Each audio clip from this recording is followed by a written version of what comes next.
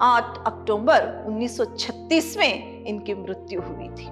और ये क्या है? वो पत्र यानी यथार्थ जीवन का आग्रही भी था। मतवाला पत्रिका के ये एक संपादक रहे। मतवाला पत्रिका जो है, इसके संपादक रहे। समकालीन कविता, जो समकालीन कविता है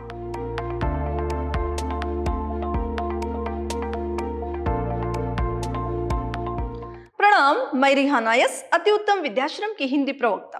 मेरे सेकेंड सेम के बीकॉम के जितने भी विद्यार्थी हैं, आज मैं आपको पत्रकारिता के अंतर्गत, जो हिंदी के प्रमुख पत्रकार हैं, उनके बारे में जानकारी दूँगी। हिंदी के प्रमुख पत्रकारों में निराला जी भी एक है। पहले मैं इन्हीं के बारे में बता देती हूँ आपको। निराला जी, पंडित सूर्यकांत त्रिपाठी निराला, इनका पूरा नाम है। तो इनकी, यानी पितृभूमि उत्तर प्रदेश, लेकिन जन्म बंगाल के महिषादल स्टेट में सन 1800 यानी अठानबे ईस्वी में हुआ था। आप बंगाली और संस्कृत के अच्छे ज्ञाता थे। सन 1961 ईस्वी में आपका देहांत हुआ। इनकी जो पितृभूमि थी, वो था उत्तर प्रदेश। इनका, लेकिन इनका जन्म बंगाल के महिषादल में, सन अठानबे ईस्वी में हुआ था। इनको संस्कृत और बंगाली जो भाषा है, ये दोनों अच्छी तरह से ये, इन दोनों भाषाओं में अपना, क्या है, अपना अधिकार रखते थे। इनका जो देहांत हुआ, इनका देहांत 1961 में 1961 में इनका देहांत हुआ था। तो हिंदी में उच्च कोटि के व्यंग विनोद के साथ प्रखर राष्ट्रभक्ति को प्रदीप करने वाला मतवाला पत्र कलकत्ता से निराला जी के संपादकत्व में 13 अगस्त 1923 में मुंशी नव जादिक लाल, शिव पूजन, सहाय और महादेव प्रसाद सेठ के प्रयत्नों से निकला। हिंदी के जो उच्च कोटि के व्यंग जो है, व्यंग विनोद के साथ, जो प्रखर राष्ट्र भक्ति के प्रदीप को उज्जवल करने वाले, निराला जी ने, क्या है, मतवाला पत्रिका के ये एक संपादक रहे। मतवाला पत्रिका जो है, इसके संपादक रहे। ये कलकत्ते में ये पत्र यानी निकलता था। ये जो पत्र है, वो 13 अगस्त 1923 में 13 अगस्त 1923 में मुंशी नव जादिक लाल शिव पूजन सहाय और जो है, महादेव प्रसाद सेठ के प्रयत्नों से ये पत्र जो है, कलकत्ता में निकलता था। इसके जो संपादक थे, वो निराला जी थे। सूर्यकांत त्रिपाठी निराला जी थे इस पत्रिका में कड़ी सी कड़ी बात को विनोद की शैली में कहा जाता था। जितनी भी गंभीर हो या कठिन से कठिन जो भी बातें हैं, वो क्या है, बहुत विनोद के साथ उस पत्रिका में छापा जाता था। ऐसा मतवाला पत्रिका जिसके संपादक सूर्यकांत त्रिपाठी निराला जी थे तो इस पत्र की प्रकृति पूर्ण स्वच्छंद और स्वतंत्र थी। वो पत्र यथार्थ जीवन का आग्रही था और इस घोरक धंधे का खुल्लम खुल्ला विरोध करता था।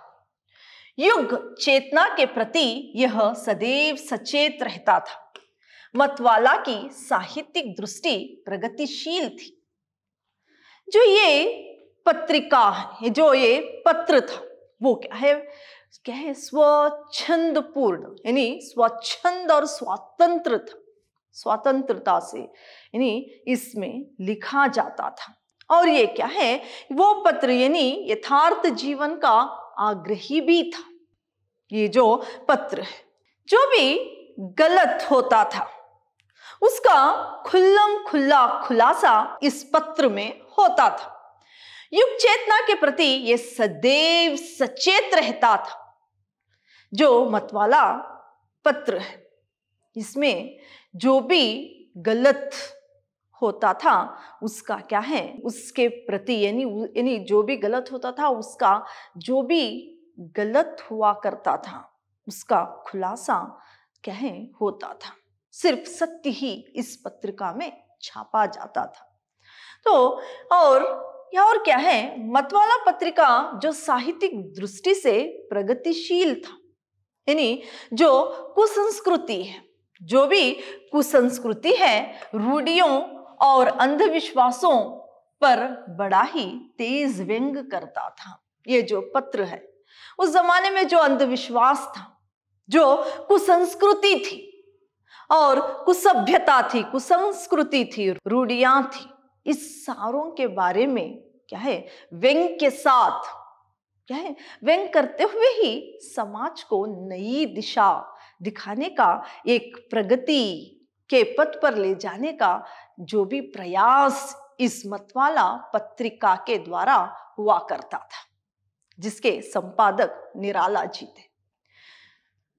निराला के साथ हरिओद, चतुर्सेन शास्त्री, प्रेमघन, प्रसाद, उग्र और शिव पूजन सहाय, जैसे यानी समर्थ साहित्यकारों को तेजो दीप बनाने में पत्र ही अविस्मरणीय भूमिका थी। यानी यहाँ पर निराला के साथ, यानी सूर्यकांत त्रिपाठी, निराला जी के साथ हरिओद, चतुर्सेन शास्त्री प्रेम घन और क्या है प्रसाद, ये सब जो साहित्यकार थे, इनको भी क्या है ये भी जो है, तेज दीप बनाने में पत्र ही आस्मरणीय। क्या है? जो ये मतवाला पत्र है, ये क्या है? ये पत्र जो है, तेजो दीप बनाने में, इन सारे लोगों को तेजो दीप बनाने में ये एक आस्मरणीय, जिसे भूला ही नहीं जा सकता। ऐसा एक भूमिका यानी आस्मरणीय एक पत्र बन गया था। यानी इन सब लोगों को तेजो दीप बनाने का एक आस्मरणीय यानी पत्र बना था, मतवाला जो पत्र है। आस्मरणीय बनाने वाला ये मतवाला पत्र था। इन सबको समाज के सामने इस संसार के सामने तीजो दीप बनाने वाला ये पत्र था। अब हम जानेंगे मुंशी प्रेमचंद मुंशी प्रेमचंद जो उपन्यास सम्राट के नाम से जाने जाते हैं। और इन्होंने बहुत सारी कहानियाँ, उपन्यास जो रचा था, ये एक अच्छे पत्रकार भी थे। तो इनका जो जन्म हुआ, इनका जो जन्म 31 जुलाई 1880 में हुआ था। 31 जुलाई 1880 में इनका जन्म हुआ था और इनकी मृत्यु 8 अक्टूबर 1936 में हुई। 8 अक्टूबर 1936 में इनकी मृत्यु हुई थी। हिंदी और उर्दू के महानतम भारतीय लेखकों में से एक है। ये अपनी लेखनी उर्दू और हिंदी भाषा में चलाया करते थे। जब ये उर्दू में लिखा करते थे, तब इनका नाम नवाब राय रखा गया था। बाद में इनका नाम मुंशी प्रेमचंद जी पड़ा। फिर मूल नाम धनपत राय। श्रीवास्तव प्रेमचंद को नवाब राय और मुंशी प्रेमचंद के नाम से भी जाना जाता है। इनका जो नाम था, प्रेमचंद जी का नाम, इनका नाम था धनपत राय श्रीवास्तव प्रेमचंद। धनपत राय श्रीवास्तव प्रेमचंद। लेकिन जब इन्होंने उर्दू में अपनी लेखनी चलाई, उस वक्त नवाब राय इनका नाम पड़ा। फिर क्या है? इनका नाम मुंशी प्रेमचंद के नाम से आज पूरा संसार इनको जानता है। उपन्यास के क्षेत्र में उनके योगदान को देखकर बंगाल के विख्यात उपन्यासकार क्या है शरद चंद्र चट उपाध्याय ने उन्हें उपन्यास सम्राट कहकर संबोधित किया था। इनके उपन्यासों को देखकर इन उपन्यास के क्षेत्रों में जो इन्होंने योगदान दिया है, इसको देखकर बंगाल के, यानी बंगाल के जो विख्यात उपन्यासकार थे, जिनका नाम शरद चंद्र शरद चंद्र चट उपाध्याय था। इन्होंने इनका नाम जो है उपन्यास सम्राट के नाम से, इनका नाम क्या है? मुंशी प्रेमचंद जी का नाम उपन्यास सम्राट इन्होंने ही इनको रखा था। प्रेमचंद ने हिंदी कहानी और उपन्यास की एक ऐसी परंपरा का विकास किया, जिसने पूरी सदी के साहित्य का मार्गदर्शन किया। ये जो मुंशी प्रेमचंद जी थे वे क्या है, हिंदी कहानी और उपन्यास इस प्रकार लिखा कि इसका, यानी हिंदी का विकास भी इसके साथ साथ हुआ। साथ ही साथ क्या है, पूरी सदी के लिए साहित्य का एक मार्गदर्शन भी ये जो इनके उपन्यास और कहानी बने। वे एक संवेदनशील लेखक, सचेत नागरिक कुशल वक्ता तथा सुधी संपादक थे। ये एक संवेदनशील लेखक ही नहीं, एक अच्छे उपन्यासकार ही नहीं, बल्कि ये एक अच्छे वक्ता भी थे। अच्छे भाषण देने वाले एक वक्ता भी थे, साथ ही साथ एक अच्छे पत्रकार भी थे। बीसवीं शती के पूर्वार्ध में जब हिंदी में तकनीकी सुविधाओं का अभाव था उनका योगदान अतुलनीय है। यानी जब बीसवीं शती में, यानी बीसवीं शताब्दी में के पूर्वर्ध में जब तकनीकी, जो आधुनिक काल को तकनीकी काल कहा जाता है, ऐसा तकनीकी के, यानी सुविधाओं में अभाव था, तब भी इनके योगदान जो है, महत्वपूर्ण ही रहे। प्रेमचंद के बाद जिन लोगों ने साहित्य को सामाजिक, सरोकार और प्रगतिशील मूल्यों के साथ आगे बढ़ाने का काम किया, उनमें यशपाल से लेकर मुक्ति भोज तक शामिल है। प्रेमचंद जी के बाद जो साहित्य को, समाज को, यानी साहित्य को सामाजिक सरोकार प्रदान किया, यानी सरोकार और प्रगतिशील मूल्यों के साथ आगे बढ़ाने का जो काम किया था, उसमें यशपाल से लेकर मुक्ति भोत तक शामिल है। मुक्ति भोत तक शामिल है। कथाकार प्रेमचंद एक पत्रकार के रूप में विख्यात थे।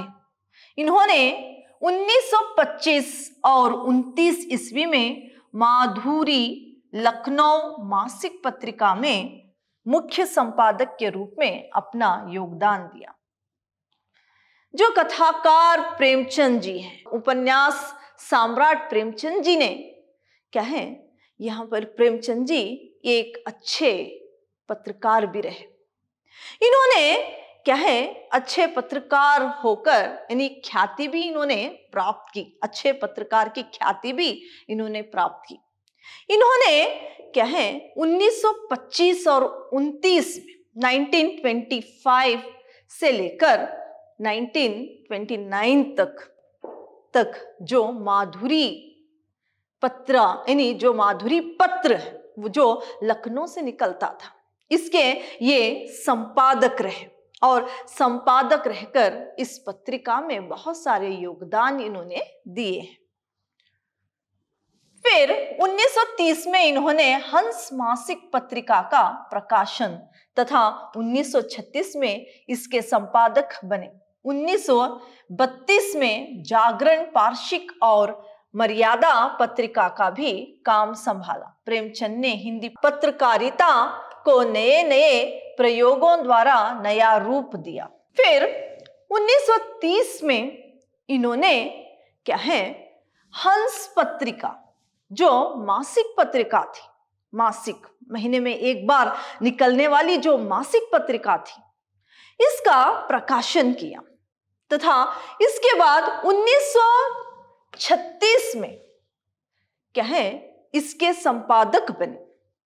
पहले इन्होंने 1900 क्या है 30 में 1930 में हंस जो मासिक पत्रिका थी, उसका प्रकाशन तथा 1936 में इनके संपादक बने।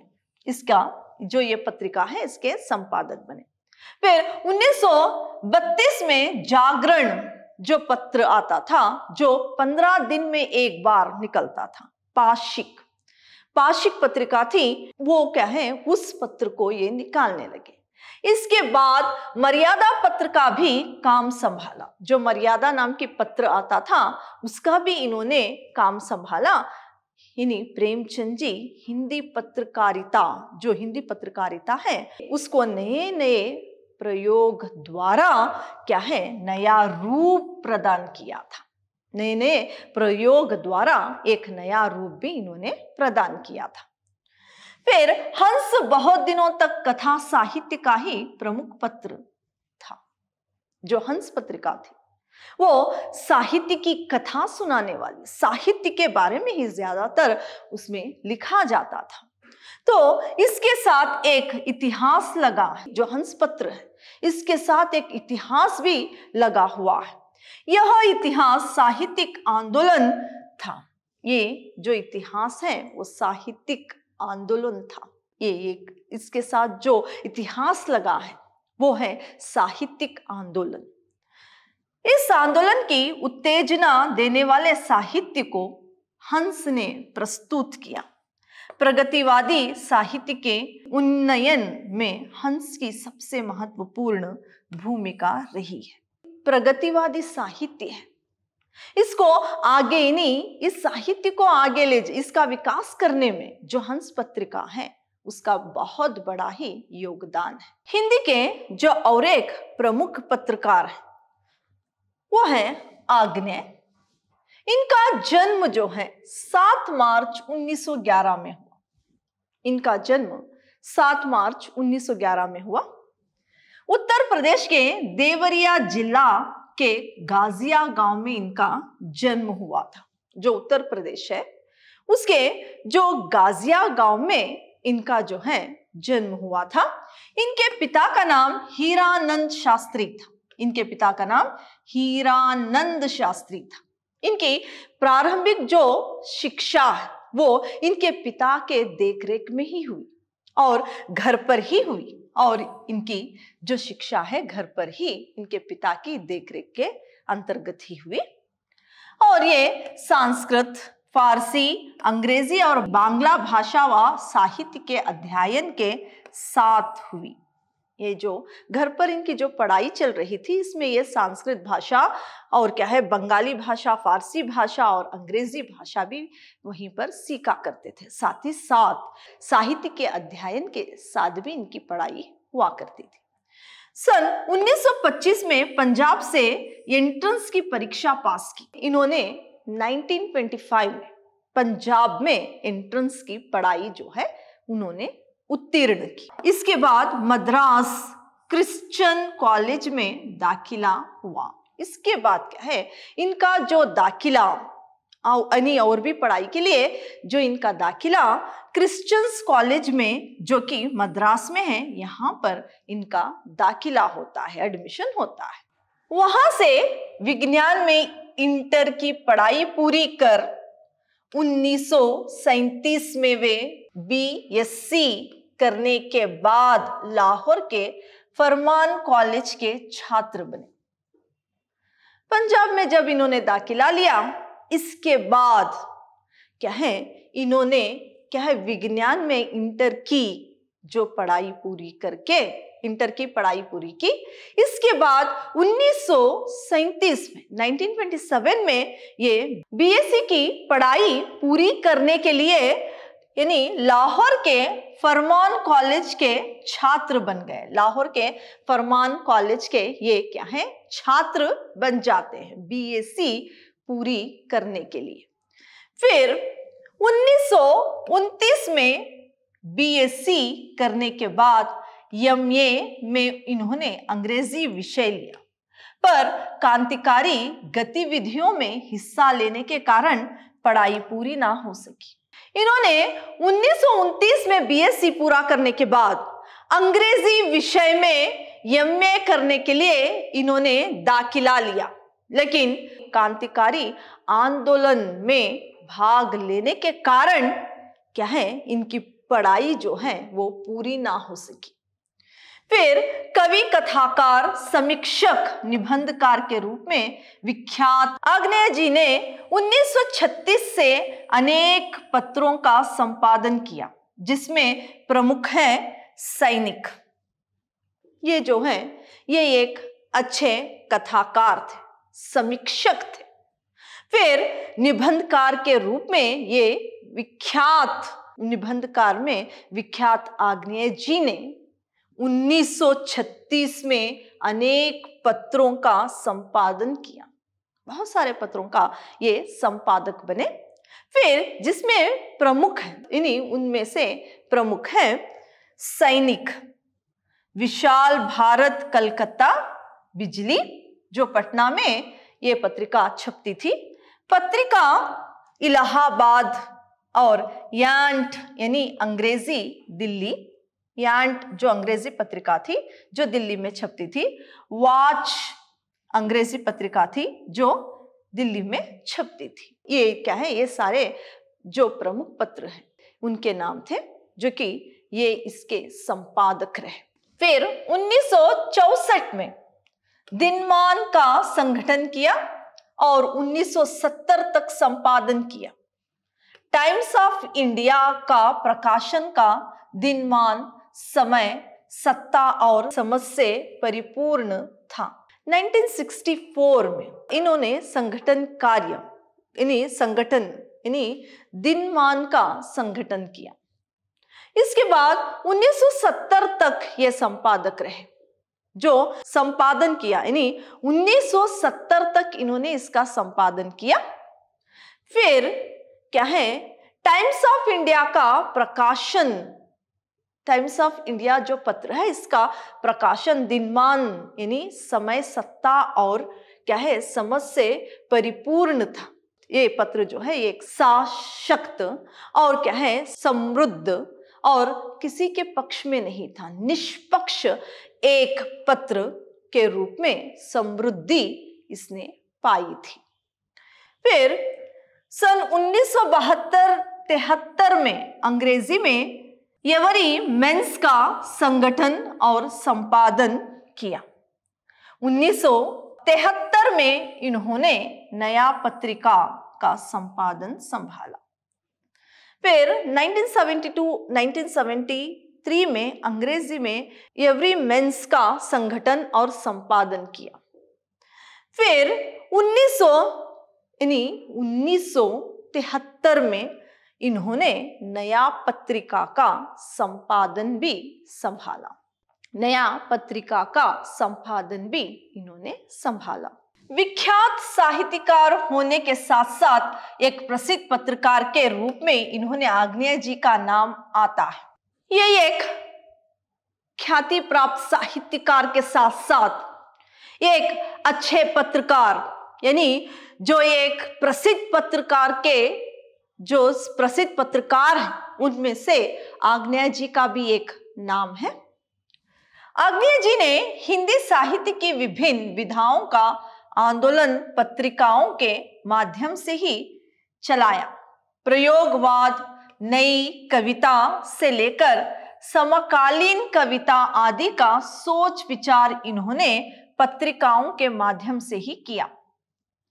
आग्नेय जी जो हिंदी साहित्य की विभिन्न विधाओं का आंदोलन किया, यानी आंदोलन जो किया वो पत्रिकाओं के माध्यम से ही चलाया था। साथ ही साथ प्रयोगवाद, नई कविताएँ, प्रयोगवाद, यानी प्रयोगवाद और नई कविताओं से लेकर लेकर समकालीन कविता, जो समकालीन कविता है आदि के विचार इन्होंने अपनी पत्रिकाओं के द्वारा ही इन्होंने किया है। तो आज मैंने आपको कुछ हिंदी के प्रमुख जो पत्रकार हैं, उनमें से क्या है? निराला जी, प्रेमचंद जी और क्या है? आग्नेय जी के बारे में जानकारी दी है और भी कुछ पत्रकार हैं, जिनके बारे में जानकारी मैं अगली क्लास में आपको दूँगी। धन्यवाद।